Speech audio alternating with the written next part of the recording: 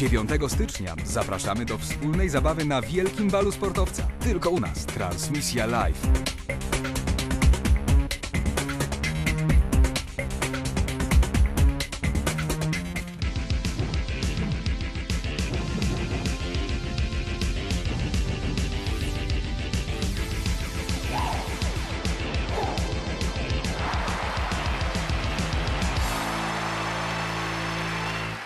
Chemik Police to najlepsza obecnie krajowa drużyna w składzie mistrzyń Polski. Jest wiele wybitnych zawodniczek. Wszystkie ostatnie konfrontacje pomiędzy wrocławiankami a zawodniczkami Chemika kończyły się triumfem rywalek. Jest to gdzieś w głowie, że chcemy się w końcu odgryźć y, i za ten finał, i, i za, za resztę meczów, które przegrałyśmy.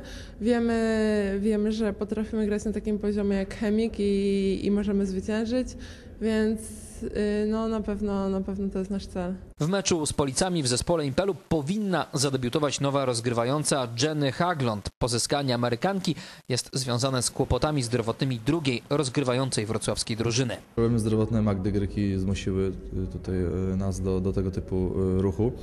Kończył się okres transferowy, dosłownie to trwało kilkanaście godzin. Te decyzje były podejmowane bardzo szybko.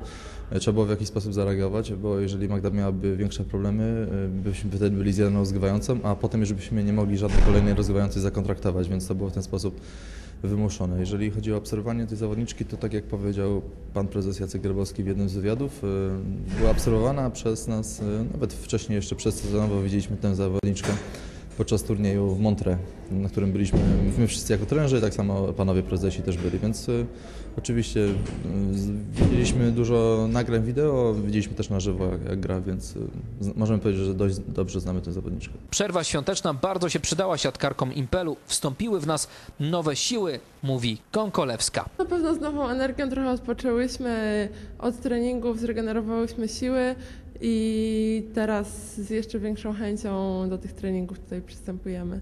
Szkoleniowcy Impelu znają mocne i słabe strony rywalek. Jeżeli szukać dziury w całym, to piętą achillesową chemika jest defensywa. Ten zespół jest zbudowany tak typowo, nie wiem, można powiedzieć jak po, po włosku, czy, czy różnie trenerzy budują zespoły, ale generalnie opierają tren, e, trenerzy zespół na ataku i tak jest ten zespół zbudowany. Jest bardzo mocny w ataku, nieco słabiej przyjmuje zagrywkę, więc jeżeli e, przeciwnik dysponuje dobrą zagrywką, e, to jest tutaj w stanie dużo zrobić, odrzucić od siatki lub kończyć akcję od razu asami serwisowymi, więc to jest jakby taka mm, znacząca rzecz, którą warto wykorzystywać w grze z zespołami, które prezentują bardzo dużą siłę w ataku, a słabiej przyjmują. Mecz z chemikiem rozpocznie się we wtorek 30 grudnia o 18 w hali Orbita.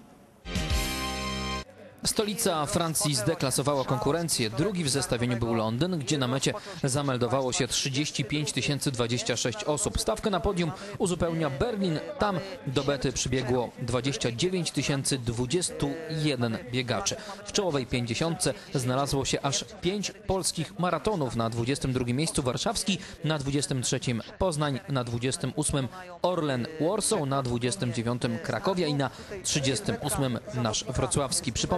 Na mecie Stadionu Olimpijskiego zameldowało się w 2014 roku 3842 zawodników. W sumie odbyło się w tym roku w Europie ponad 300 maratonów mających atesty Narodowych Związków Lekkoatletycznych. Wynik Wrocławia jest więc naprawdę bardzo dobry. W 14 europejskich imprezach liczba zawodników kończących bieg na trasie 42 km 195 metrów przekroczyła 10 tysięcy. W porównaniu z rokiem 2013 największy wzrost zanotowała Moskwa oraz Lizbona i Warszawa. Natomiast największy spadek frekwencji miała Kolonia. W czołowej 30 rankingu najwięcej maratonów, po cztery mają Brytyjczycy, Hiszpanie, Niemcy i Polacy. Wrocław już rozpoczął ofensywę biegową 2015. Przypomnijmy, trwają zapisy do wrześniowego maratonu i czerwcowego półmaratonu. Zawody już cieszą się bardzo dużym zainteresowaniem biegaczy z całego kraju, ale nie tylko. Soccer. Pierwsze punkty zdobył Jakub Dłonia, który trafił na dzień dobry za linię 6 metra 75 cm. Chwilę później znów Dłoniak w roli głównej. Śląsk doskonale wszedł w mecz i błyskawicznie objął wysokie prowadzenie 11 do 2. Na 3 minuty przed końcem Denis Ikowlew trafił trójkę z 8 metra. Gospodarze odskoczyli na dystans 13 oczek. Kwartę zakończył niemal równo z Syreną Mantas Czesnauskis. Śląsk wygrał inauguracyjną część meczu 28 do 13. Początek drugiej kwarty z przewagą Anwilu, ale Śląsk zrobił swoje. Publiczność w hali Orbita rozgrzał m.in. Roderick Trajsk, efektownie wkładając piłkę do kosza. Gospodarze na 5 minut przed końcem pierwszej połowy prowadzili 36 do 25, a po dwóch kwartach było 48 do 33. W trzeciej obie drużyny grały systemem kosz za kosz. W połowie tej odsłony Śląsk prowadził 58 do 44. Tyle samo punktów dzieliło zespoły także na 3 minuty przed końcem kwarty. Po końcowej syrenie na tablicy widniał wynik 73 53. Ostatnie 10 minut zaczęło się od dwóch trafień Chase'a Simona, najlepszego gracza gości. Anvil potrafił seryjnie punktować. Początek ostatniej odsłony to seria 15-3 dla Włocławian. Udało się jednak ją przerwać. Ostatecznie Śląsk wygrał pewnie 91 do 74, 24 oczka. Najwięcej dla Śląska rzucił Jakub Dłoniak. Organizatorzy plebiscytu szykują się do jego zakończenia. Samo liczenie głosów na razie nie jest większym problemem. Kłopotów nie mają też z przygotowaniem balu dla sportowców, trenerów i gości. Drugi rok atrakcją będzie występ artystyczny. Oprócz tego, że, że będzie gala rozdania nagród, e, ta gala będzie przydzielona takimi występami artystycznymi. W zeszłym roku korzystaliśmy e, z pomocy, z występów e, akrobatów grupy Magnifica.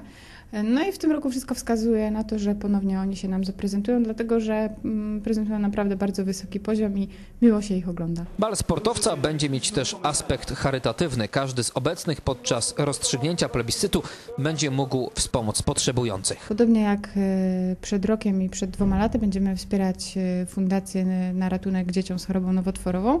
Będziemy prowadzić loterię fantową. Każdy, praktycznie każdy fan będzie wygrywał. Będzie można wygrać innymi e, bilety na mecz Śląska, Wrocław piłki nożnej, czy wejściówki do zoo, czy aquaparku. Będą także cenne, fajne książki, przede wszystkim o tematyce sportowej. Myślimy także nad licytacją i mamy nadzieję, że uda nam się pozyskać cenne fanty od e, naprawdę topowych sportowców, tak że będzie można powalczyć też o, o, o takie atrakcje. Dla tych, którzy nie będą mogli uczestniczyć w balu, przygotowano specjalną transmisję internetową z uroczystości, którą przeprowadzi Belgium News Team. Zachęcamy do oddawania głosów na swoich faworytów. Do zakończenia głosowania bowiem coraz mniej czasu. Już naprawdę malutko my powoli sumujemy głosy, także e, wszystkie osoby, które gdzieś tam jeszcze chomikują e, kupony, zachęcamy, żeby, żeby przynieśli nam je do redakcji. No i wysyłajmy SMS-y. Przypomnę, rozstrzygnięcie plebiscytu już 9 stycznia.